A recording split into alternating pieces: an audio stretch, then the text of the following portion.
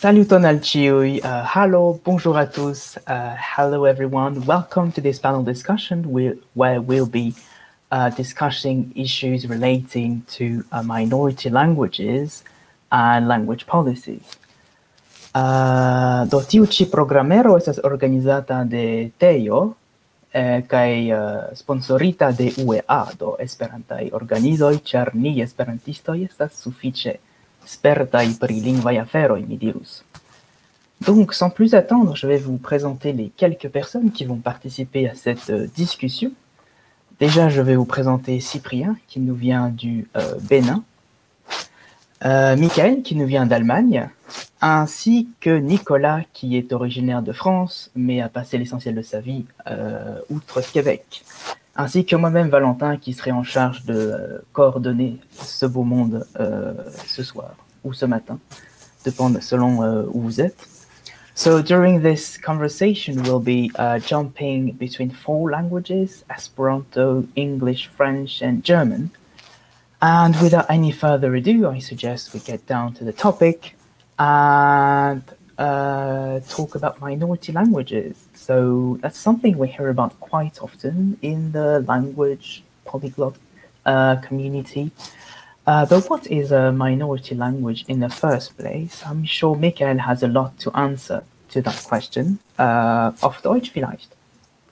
Äh, das können wir machen. Äh, mein Kopf raucht jetzt schon von den, von den vielen Sprachen, die wir hier benutzen werden. Ähm, aber ja, also Minderheitssprachen ist halt äh, ein Begriff, unter dem sich viele wahrscheinlich intuitiv etwas vorstellen können, ähm, der aber, wenn man genauer hinschaut, gar nicht so klar definiert ist. Ähm, es gibt zum Beispiel äh, in der Linguistik und ich bin da auch kein Experte auf diesem speziellen Gebiet, aber ich studiere auch etwas, was mit Linguistik äh, zu tun hat.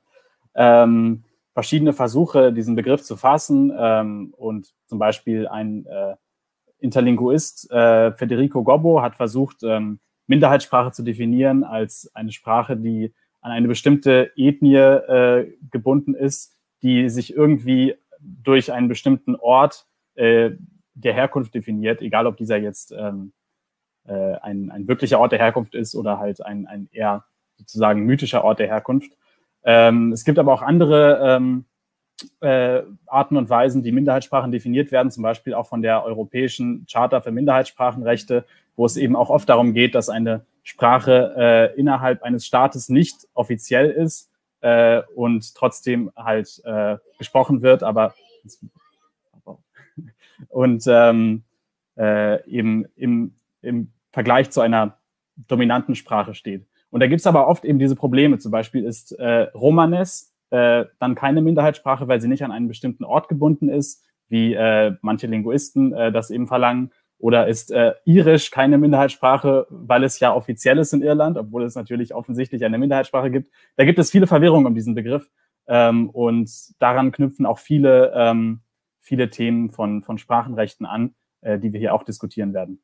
Äh, ich will gar nicht so viel technischen Kram quatschen, deswegen würde ich das Wort direkt äh, weitergeben. Eble ähm, mi ne scias kiu volas aldoni ion al al tiu ci temo.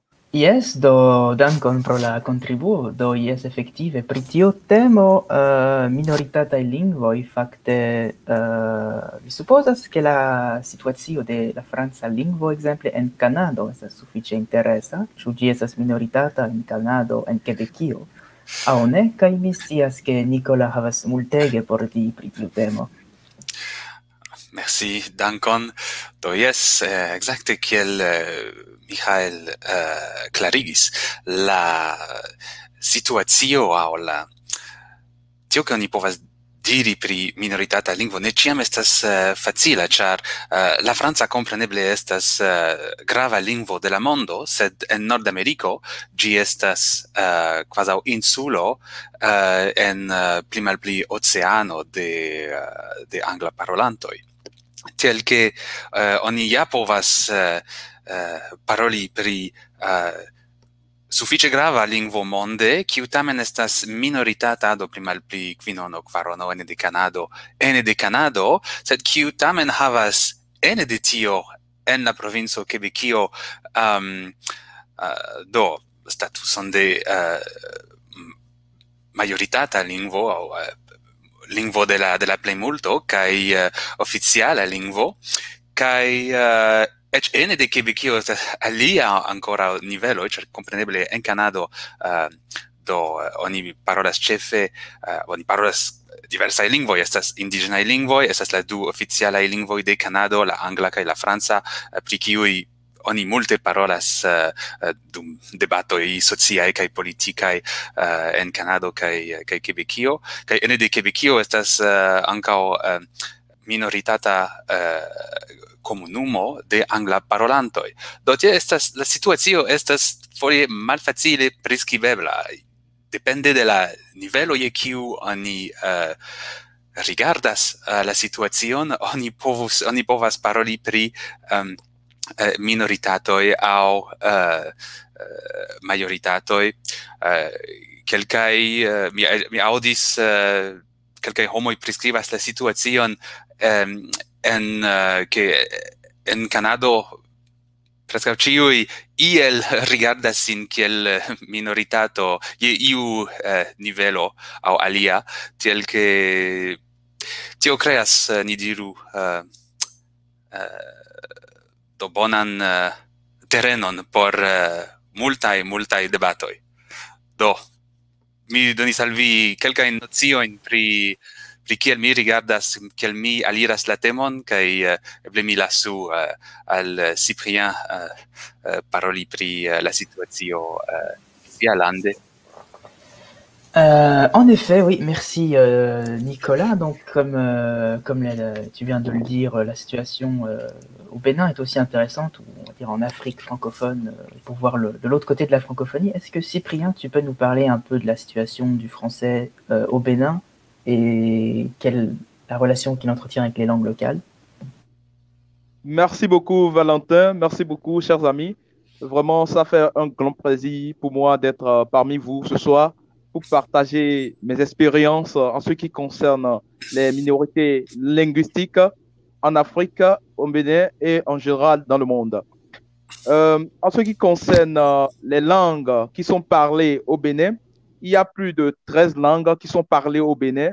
Il y a le français et puis les langues euh, telles que l'adja, le fond, le mina, ainsi de suite. Il y a plusieurs langues qui sont parlées au Bénin.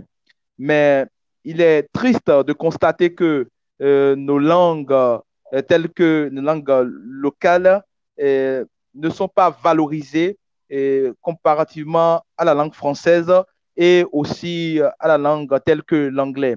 Euh, et cela fait beaucoup de dégâts, cela sème beaucoup de dégâts, puisque les gens, quand ils n'ont pas un bon niveau en, français, ils n'ont pas la possibilité de travailler et, ils ne sont pas aussi souvent considérés. Euh, si je prends ma petite communauté, la communauté des Adja, c'est une communauté qui n'est pas souvent considérée à cause du fait qu'ils ne sont pas trop éduqués ils ne sont pas euh, alphabétisés. Donc, euh, il y a plusieurs qui sont des analphabètes et quand tu viens quelque part et tu parles l'adja, c'est comme si on ne t'attend pas. On dit que les fonds au Bénin sont les grands, les fonds sont les gens qui détiennent peut-être euh, tout, c'est eux qui gouvernent le Bénin et ainsi de suite, parce qu'il y a une majorité linguistique.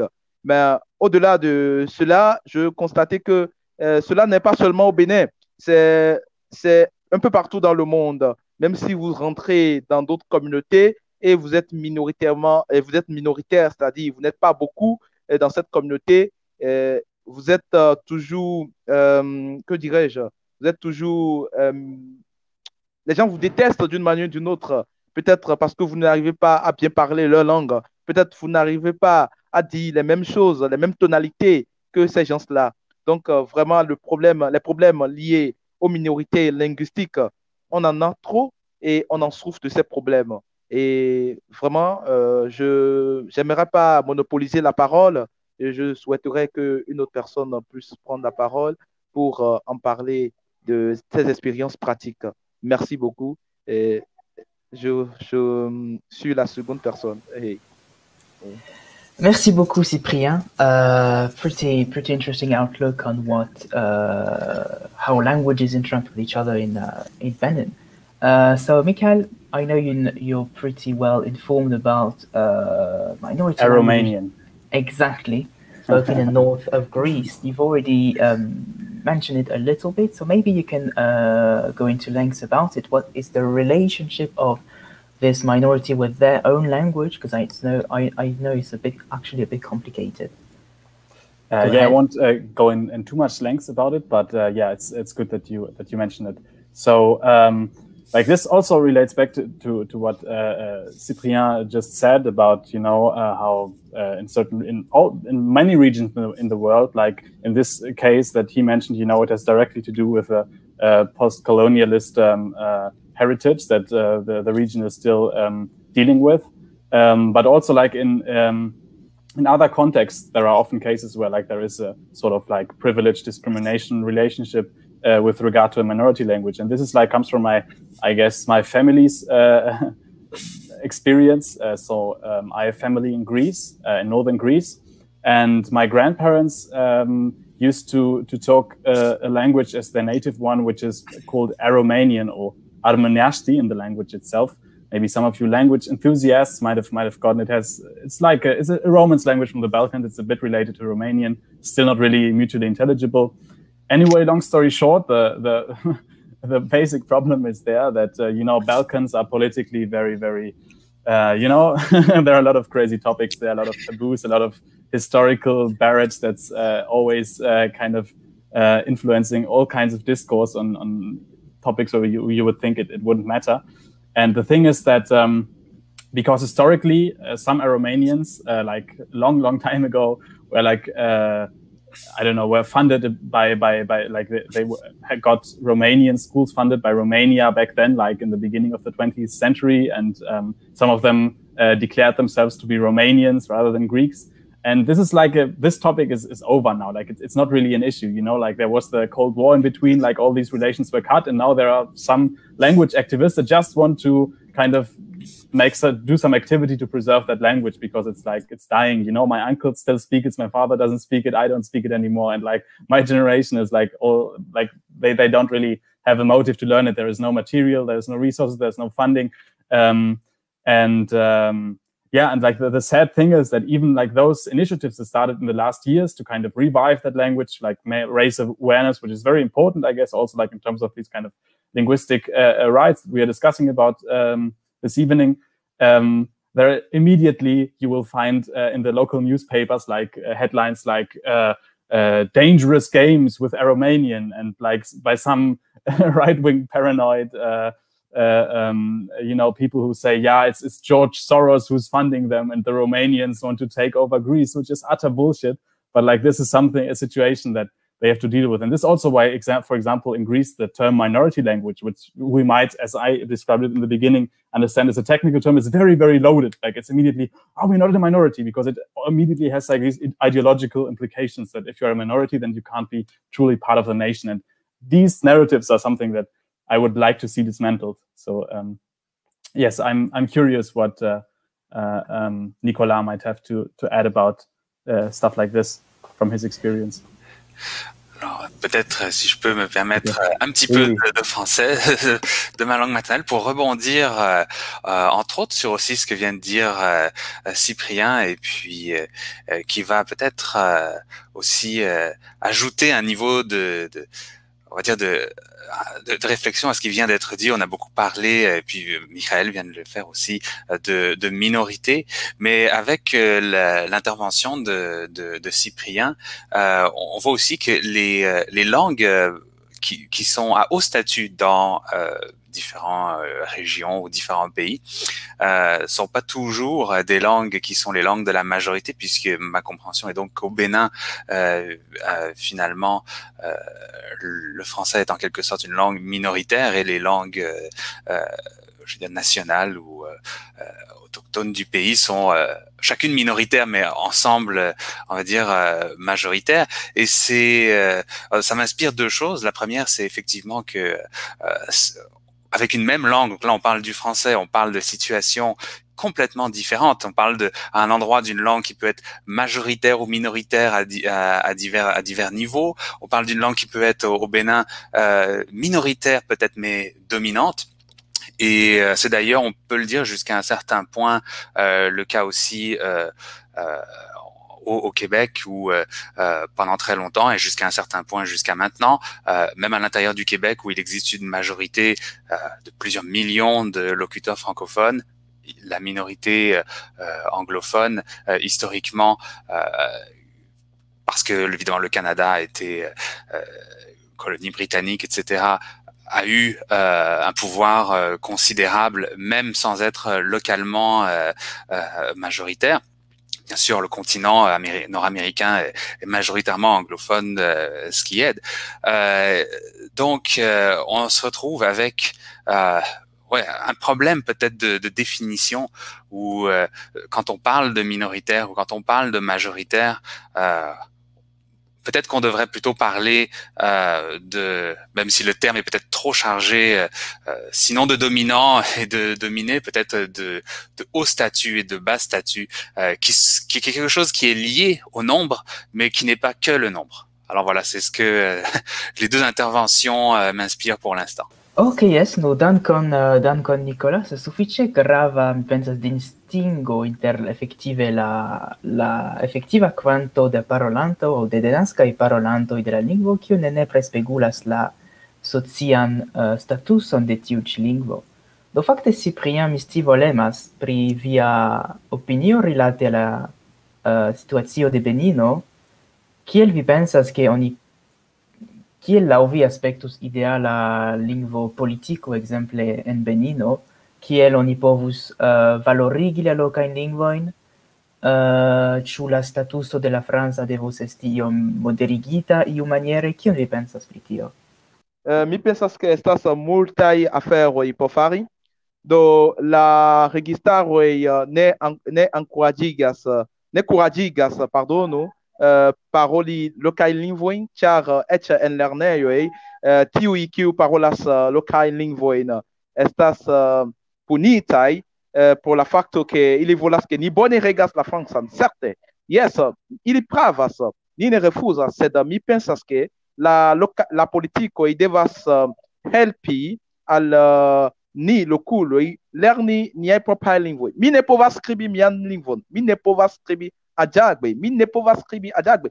Tio estas honton, kai uh, uh, et abokso, do mi jus uh, eklernis las foje do estas uh, malbona, estas uh, trista que mi ne povas lerni kaj eĉ skribi mian propran lingvon. Do estas tre komplika. Do niaj kiel eh, diri la la politikoj de niaj ŝtatoj euh, uh, devas euh, kuraĝigi uh, uh, lerni kaj uh, um, ehm, kiel diri uh, ankoraŭ merti materialojn por ke multaj uh, eh, lokuloj povos uh, exprimi kaj skribi facile proprajn lingvojn. Do krom tio mi povas uh, aldoni ankoraŭ ke eĉ en uh, Afriko, en la tuta Afriko, ni devas ankaŭ ŝati um, uh, kiel diri, ni devas ankoraŭ uh, ami un la alian.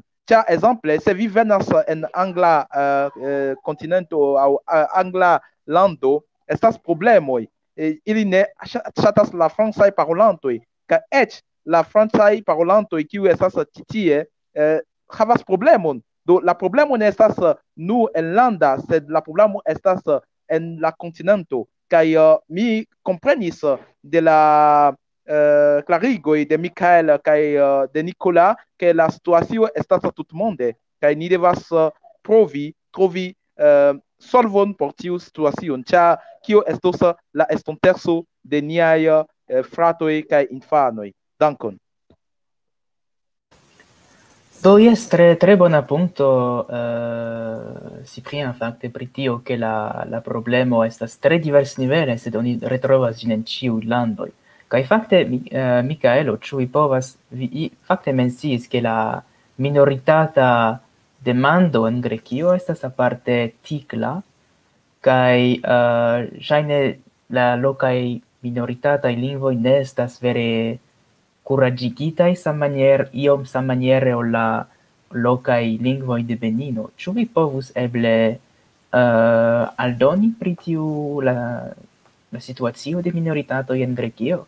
Mi pensas che giusto tiu afero pri tutmondeco, pri kiu pri kiu ni parolis, kaj pri tiu uh, grava distingo ankaŭ un uh, eh, Nicola mencis inter ke ne nur estas tiu demando minoritata majoritata, se ĉiam ankaŭ tiu uh, demando de um, de POV strukturoj um, ehm, che tio vere eh, uh, videbligas mult nivelle kai kai en, en multa exemplo kiel uh, kiel tio en Benino sed compreneble en tute diversa contexto anche in Grekio pri la specifa eh, situazio en Grekio um, ehm, do mi povas aldoni che compreneble uh, se vi uh, se vi rigardas uh, la mapon de Grekio kaj kie troviĝas la minoritatoj la aŭ la ki ki ofte ne ŝatas eh, nomi sin minoritatoj sed eh, estas en la nordo kiuj eh, kie antaŭ la balkanaj militoj eh, estas estis tre mult etna regiono eh, sed compreneble post la limoj qui estis ehm, um,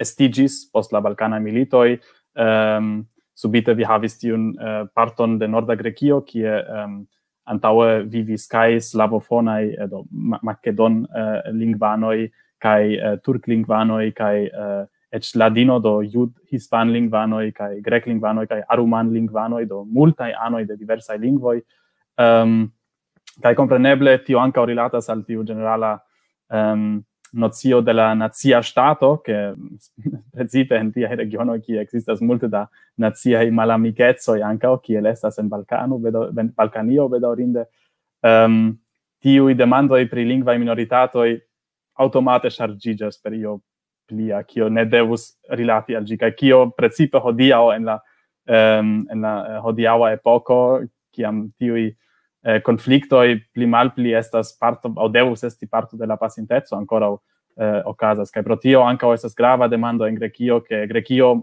la Stato, ne volas agnoski eh, lingvan minoritaton de makedon lingvano ne volas agnoski lingvan minoritaton de Aruman lingvano anca o ec ne de Turk lingvano char gi diras che gi agnoskas gin kiel religian minoritaton, sed ne kiel, kiel lingvan. Do estas, sed se vi rigardas al aliai Balcanai landoi, situazio estas simila krom la, la sufiĉe bona ekzemplo de Macedo Nord Macedonio fakte kie kaj la albana kaj la rumana fakte estas agnoskitaj kiel kiel minoritata lingvo kaj eĉ ricevas um, monon subvencion por aperi en televid programoj por kaj por organizi kursojn. Do tio estas unu bona ekzemplo en la regiono kie generale tiu i malamikeco i bedorinde estas la pli reganta um, faktoro, diru. Yes, though, interesse, interesse. Uh, I think it's time to switch languages, actually. actually. Uh, so, yeah, exactly. In the Balkan region is famous for its, uh, yes, complex ethnic and national situation. Uh, I could say are, there are also a couple of countries, such as mine, France, where minorities, uh, minority languages are not very uh, much given uh, not given much attention or, or, credit, again because of this idea of nation state. Uh, in France, which is uh, which has a pretty peculiar uh, approach to it, uh, it's a bit different from, I suppose, Western most African countries because the borders are mostly result of fairly random borders, which has been uh, implemented by Europeans, and not really uh, match the, the national map of minorities, ethnicities, or even languages. And coming back to Canada, uh, also has a. I'm actually curious to know the language question issue tends to be mostly French versus English. I don't know if there's a much uh, space given to minority languages within Canada, actually. Well, that that has uh, yeah that has a complex uh, answer.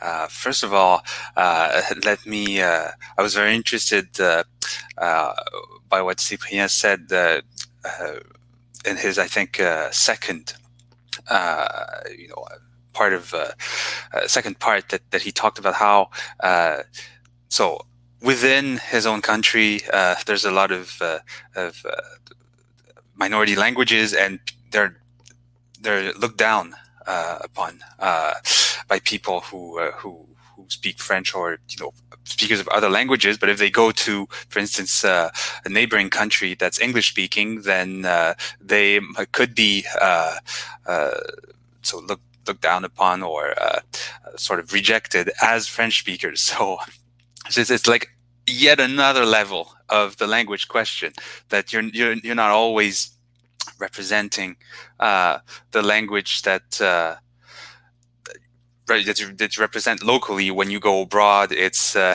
it's it's just uh, it's it's a very nice. Uh, well, not, I mean, it's a, it's a complex. It just highlights the way that the the the question how the question is complex. Sorry, just trying to get to my next idea. Yes, uh, you're correct that there actually are many language questions. Um, uh, in Canada, if you look at uh, if you look at the, the, the whole population, it is true though that uh, the language debate has mostly mostly centered uh, around uh, French and English, and so there are other languages, obviously the indigenous languages of Canada, some of which um, so um, a lot of which have relatively small populations, some of which are relatively uh, healthy in terms of, uh, of, speakers and young speakers and transmission.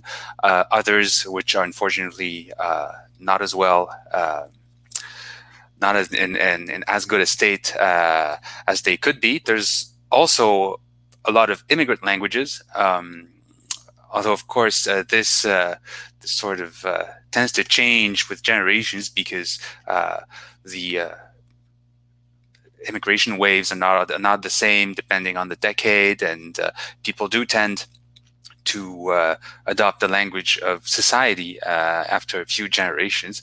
But it is true that uh, here in Montreal, uh, where I live, uh, on the street you might hear. French, English, but also Arabic, Spanish, um, Haitian Creole, and uh, many other languages. Uh, these are generally not the topic of language policy in Canada, language policy in Canada, despite the fact that there's now some attention being devoted to indigenous languages. Um, I'd say for us here in Quebec, it has mostly two levels, which I'll try to explain very easily. So at the Canada is a federation of 10 provinces, three territories, well, Quebec is the only one that has a French language majority at the level of the federal government. Both languages are official, but that means that the institutions of the Canadian government are bilingual. It doesn't mean that everybody speaks both languages, or it doesn't mean that on the ground both languages are, are used. Here in Quebec, we have uh, uh, another language policy which uh, has been felt by some as being uh, contradictory, although I think it's uh, in reality, it's not uh, to the, the federal policy, which is uh, to have uh, French as the theoretically only official language, even though there are uh, also services uh, in English for the uh, historical English-speaking minority. And and the main tenets of it is that schooling, except for these uh, historical English speakers uh, is uh, occurs or is, is done in French. So everybody goes to French school. And the reason is, and this has been the case for the past four decades. And the reason for that is that uh, that way there will be a very high proportion of people who are able to speak French, especially in the Montreal area, where there's a lot of uh, a, lot, a lot of immigrants. And this uh, this is uh, what really I think uh, makes uh, language rights, if you will, uh, possible to uphold because you need to be able to speak the language. You need to be in an environment where the language is known and spoken to be able to to really exercise it. So I don't want to speak too much because I've already spoken a lot, but this is basically at very, very, very high level what this what it looks like. Okay, yeah, uh, good point, good point, thank you. Uh, actually, as you added a bit of complexity about the language situation in, in Canada, where there's actually more than just English and French, uh, as it's often uh, it's often uh, depicted. Um, so coming up next. Well, I mean, um, yep. if I, if you if you don't mind, I can I can just. Yeah, yeah, sure, sure. Um, course, yeah. I mean, uh, as we're already like approaching approaching the end of the uh, general discussion part, and then we'll uh, come to some questions that you guys had. Um, actually, I might I might do this in German. ähm, also ich denke, äh, bei all dem, was wir jetzt besprochen haben, eben mit diesen verschiedenen komplexen äh, Machtstrukturen und auch ökonomischen Zwängen, die ähm, in solchen Situationen, wo es eben halt äh, um sprachliche Privilegien geht, eine Rolle spielen.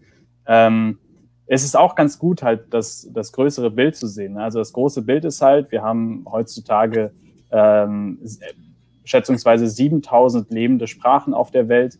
Ähm, davon sind ähm, schätzungsweise 3000 ähm, vom Aussterben innerhalb äh, des nächsten halben Jahrhunderts bedroht. Also da das ist halt eine, ein, eine riesige äh, Zahl an sprachlicher Diversität, die droht verloren zu gehen, einfach weil eben die, die, die ökonomischen Zwänge in der heutigen Welt halt äh, vor allem eine Sprache zur, ähm, zur dominanten Sprache gemacht haben, die, die alle Zweige an äh, Wirtschaft und Wissenschaft und ähm, kulturellem Austausch dominiert, die eben äh, international stattfinden. Und ich finde, das ist auch eine, ein Aspekt, den man nicht vernachlässigen sollte. Auch äh, wenn man sich zum Beispiel überlegt, auch rein rechnerisch. Also ich meine, was, was zum Beispiel äh, äh, Länder äh, es kostet, äh, quasi äh, Englischunterricht anzubieten, äh, um halt quasi international konkurrenzfähig zu bleiben, äh, während halt irgendwie dann, wie eben auch in der Situation in Benin, wo es jetzt in dem speziellen Fall eher ums Französische geht, was da eben diese Machtstellung hat, äh, die, die traditionsreichen, die traditionsreiche lokale Sprachvielfalt eben zugrunde geht. Und ich finde, dieses, dieses größere Bild und auch diese Verschränkung äh, eben dieser sprachlichen Fragen mit, mit grundsätzlichen Fragen von Diskriminierung und äh, ökonomischer Ungleichheit ähm, ist auch immer äh, sehr gut zu sehen. Und ähm, genau, ich weiß nicht, ob da jemand vielleicht, uh, maybe someone wants to, to respond to that and also, uh, I don't know, we haven't mentioned Esperanto, the other big elephant in the room here yet, so maybe someone can do that. Yeah, indeed. So uh, might be uh, something to add about, uh, especially Cyprien mentioned earlier that uh, this language uh, conflict uh, inequality is found everywhere in the world, but in different forms. So, as Esperanto speakers, we often come up with a ready cooked uh, uh, a ready cooked uh, proposal to help and tackle the issue. Uh, so yeah, how about on the uh, how do you think globally speaking we could uh, enhance the position of minoritized languages. Um, minoritized languages, and it might actually be the time to uh, tr- to uh, to go into the public's question because this uh, question which just uh, jumped uh, to me on the screen uh, about the neutral language like Esperanto may have said that it can act as a good solution globally against discrimination, but do you think such a language could also act on a national scale, scale as such? So basically, could Esperanto be used uh, on a national level, I say to even out the situation of the virus, local languages.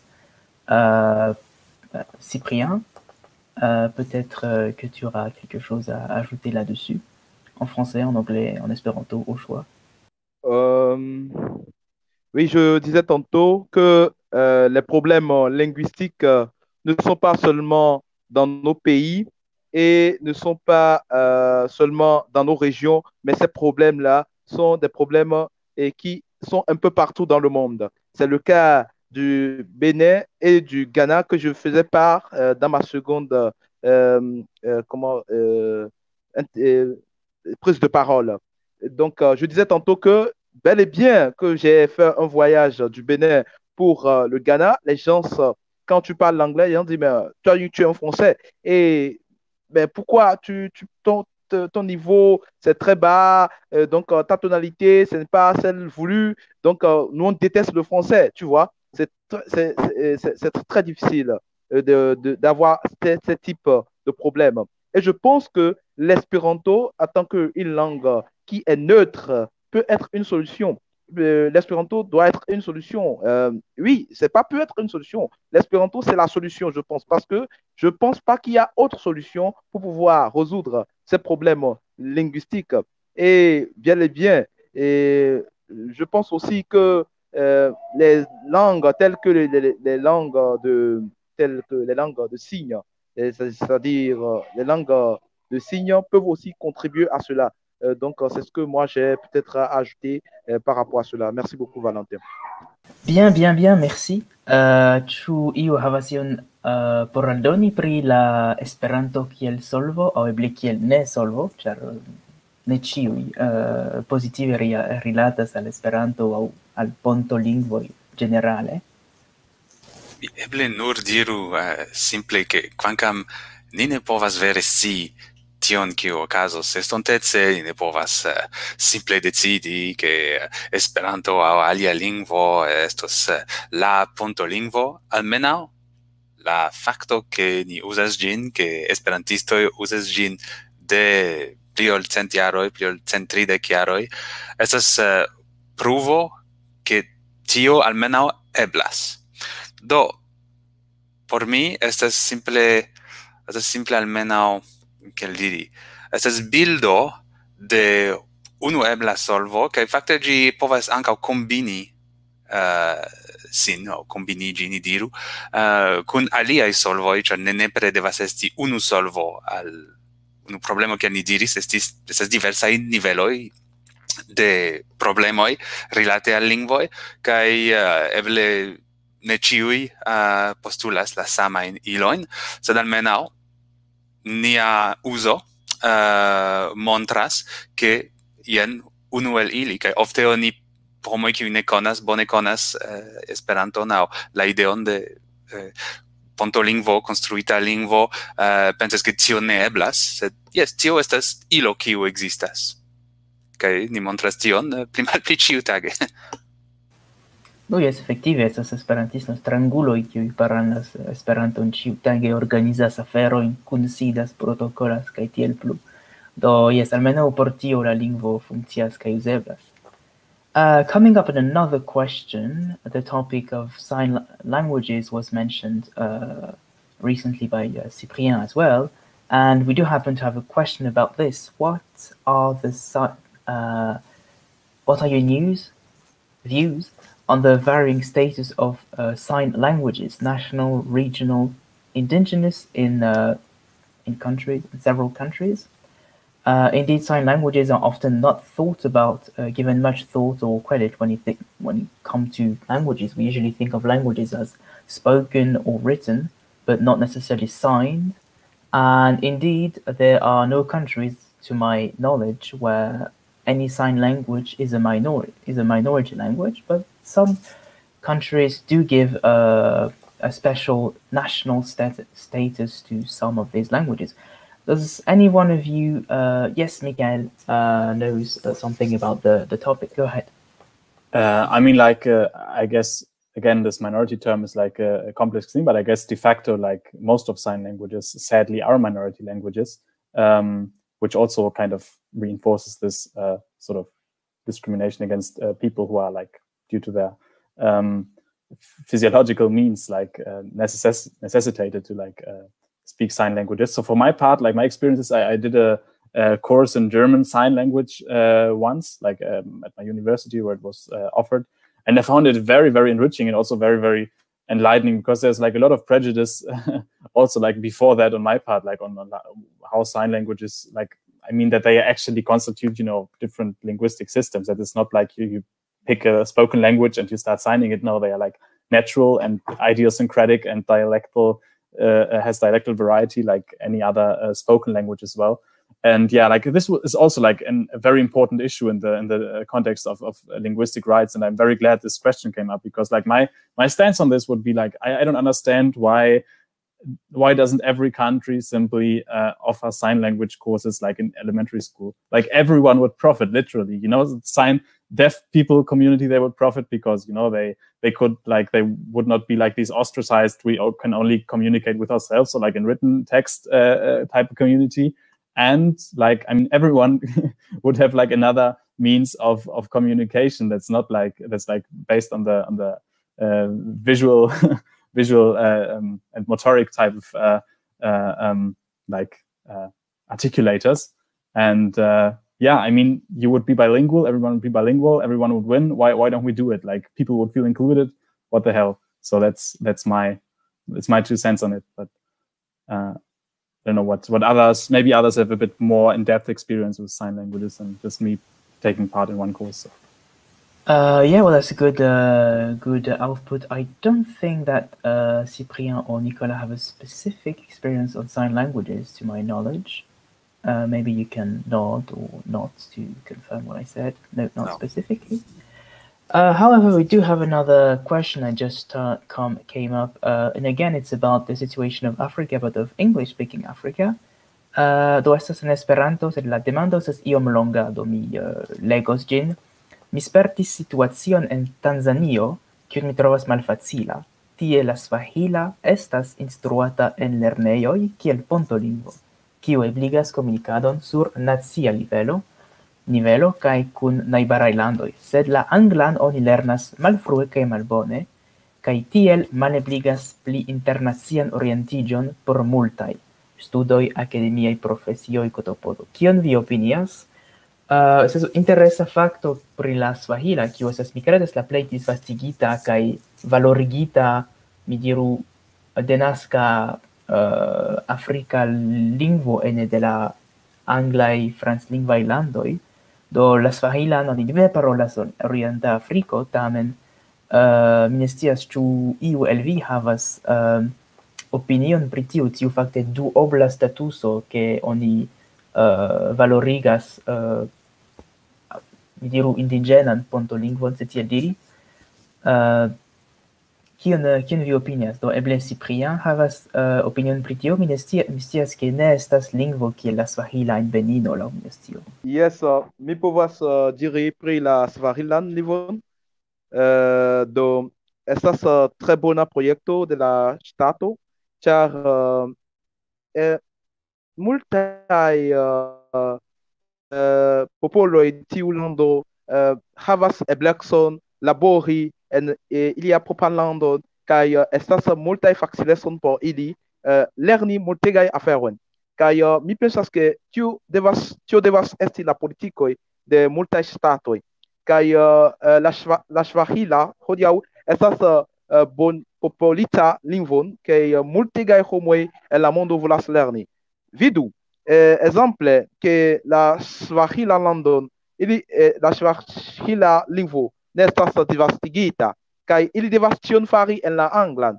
Vidu kio estos la problemo. Ni havos la saman problemon kiel en Benino kie la Franca estas kie eh, eh kiel la, la plej grava lingvo. Kai multegaj homoj ne povos eĉ labori ne povos eĉ labori pro la fakto ke ili ne si povas la francan kaj multegaj homoj ne studis por si povi por paroli la francan do mi pensas ke tio estas normala afero kaj uh, oni devas kuraĝigi aliaj statoj fari la samon dankon.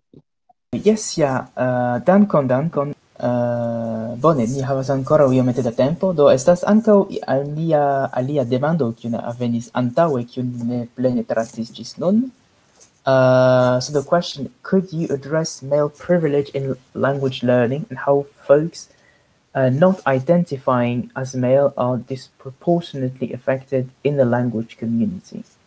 Um, I'm not sure I understand the last bit of the question uh, about, uh, yeah, but I know anyway that uh, Mikael has a, has a couple of things to say about this. Go ahead. Um, yes, thanks uh, very much for this question uh, I mean, as you can see, like um, even though we, um, as as like we represent the worldwide Esperanto youth, and even though we um, uh, succeeded to some extent to capture like uh, the geographic variety of uh, of our members, um, for this specific instance uh, of this discussion, unfortunately, we have uh, four cis cis male identifying folks sitting here and talking about issues related to um, privilege and discrimination. You know, there's there's a certain irony in this. So obviously, you know, uh, we are aware of this, but unfortunately, uh, in the spontaneous uh, organization of this uh, discussion here, um, uh, there were like uh, a, a, few like um, shortcomings in getting other people from from different like gender identities or like to also represent us here. But it addresses an important question because um, I don't know um, exactly uh, in, in, language community, I guess, is, is, a, is a broad term. So um, I guess I could I would understand the question like this. Um, also with respect to language learning, that maybe in the general like language enthusiast polyglot community, um, like I personally am more active in the Esperanto community, but we, I guess it's kind of a, a, copy paste thing from there. And there you can also see like there is a um, a slight gender imbalance, which is um, very sad and something that that should definitely uh, be overcome. Um, I can relate this also to um, maybe more specific um, questions that uh, are related to the situation of Aromanian in Greece, where um, you can clearly see that it's it's a very patriarchal uh, society, a very sexist society, and it was even even more like back in the day, where, for example, also this issue of uh, you know like people being discriminated because of their linguistic identity was also something that was like disproportionately affecting um, uh, people who were like uh, typically read as as, as female. Um, this being that, for example, like in the traditional uh, lifestyle in the in the villages where the Aromanians lived, um, it was typically the men or like the male identifying people who were um, the ones that were bilingual because they had, you know, they they were the ones that were uh, doing business and stuff, and they had like the minority language is the home language, whereas they had the um, uh, the prestigious language, which in this case would be Greek, the majority language, to interact with, uh, you know, like the, the the the majority language community and like the um, economic world. Whereas um, in that sense, like uh, women uh, from from that community were double uh, discriminated in the sense that they only because they were like forced to do these sexist structures to like stay at home and and do the do the work there, uh, the um, care work, etc. To um, to like stay monolingual in the minority language and have like, have like even less uh, independence and uh, access to to um, uh, other resources. So that's like an important question that often like falls um, under the table. And that's why I'm, I'm glad that this question came up like that. You know, all these kind of discriminatory structures, be they related to language, be they related to, to race, to gender, like they all kind of intersect with each other. And I think it's important to, to address that. And um, speaking like for, on, again, like on, on behalf of Tejo here, like, um, even though like for this specific discussion, we didn't, um, and we unfortunately didn't succeed to like have like a more uh, um, diverse um, panel here. Um, we can we can hint you to the fact that like in, in Tejo we have uh, different commissions also dealing with issues like um, discussing feminism and uh, gender equality issues. And you can always check our YouTube channel out. And um, uh, yeah, it's it's it's good content. And uh, we also try to address uh, these issues here, um, like not here, but uh, in in Tejo in general, in our activities for Esperanto and language equality and diversity in general. So that would be my part on this. Yeah, all right. Thanks. Uh, excellent point. So for non-Esperanto speakers, uh, indeed, uh, like gender issues are also something that are very much uh, dealt uh, with in the, within the Esperanto community, especially with Tejo. So if you check out on YouTube, I think it's Tejo Esperanto, T-I-J-O, And there has been a couple of uh, talks like the one we're doing right now, but uh, about women rights. So that's uh, if you want to check out and hear a bit like how Esperanto sounds. Um, bone, do mi la mia controllo ne estas plia uh, ĉu uh, no unue mi repetu uh, ĉu uh, iu el niaj uh, kunpalenanoj, kunbamilantanoj babilantoj eh, havas lastan commenton por eh, aldoni al la temo, ĉu la temo de Micaelo, o la la lasta demando o generale la, la temo de la debato. Quancam estus yes. multo por diri, mi pensas che di diris eh, la essenza in aferon por la la nuna periodo, la jus passinta horo. Do, vi vere dankas al ciui, qui partoprenis, kai spectis, kai por mi, mi pensas che enordas. Okay, so thank you everyone for uh, all the all, uh, the all the members of the audience who uh, bared with us for almost an hour. Uh, dankon al ĉiuj uh, partoprenantoj, panelanoj, mi trovis la, la, la vorton. Merci à toutes et à tous euh, d'avoir euh, de nous avoir regardés. Et j'espère que cette discussion vous aura inspiré, euh, vous aura inspiré tout simplement. Et euh, je ne me reste plus qu'à vous souhaiter une bonne euh, fin de journée, de soirée, selon l'endroit où vous êtes dans le monde. Uh, thank you everyone, and I think we can uh, call it a day. Gis. Merci beaucoup, Valentin. Por bien, obrigado. Au revoir. Thank you. Ja,